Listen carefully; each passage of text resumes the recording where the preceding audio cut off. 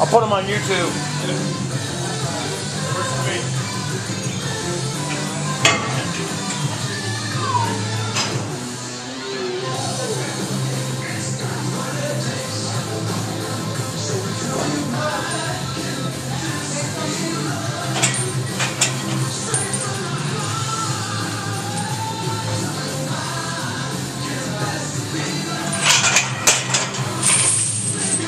Head.